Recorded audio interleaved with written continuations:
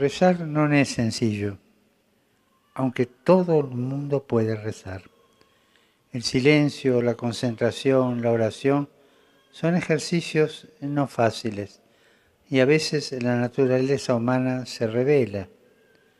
El Catecismo de la Iglesia Católica enumera algunos de los obstáculos para la oración que podemos encontrar fuera o dentro de nosotros mismos.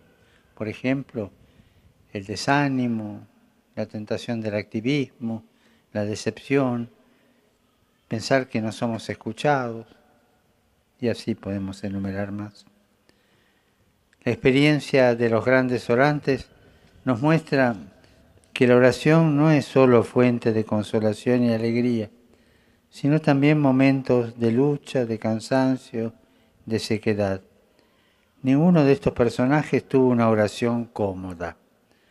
La paz que alcanzaron llegó a través de un combate interior.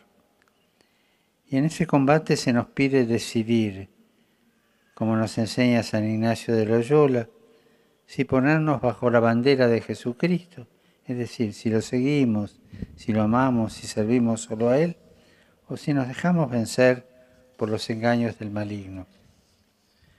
Tengamos la certeza de que cuando rezamos nunca estamos solos y de que en los tiempos de prueba y oscuridad, cuando parece que todo se desmorona y no hay puntos de referencia, el Señor Jesús, aunque no percibamos su presencia, siempre está a nuestro lado, nos reanima con su gracia, nos sostiene, nos guía y nos protege.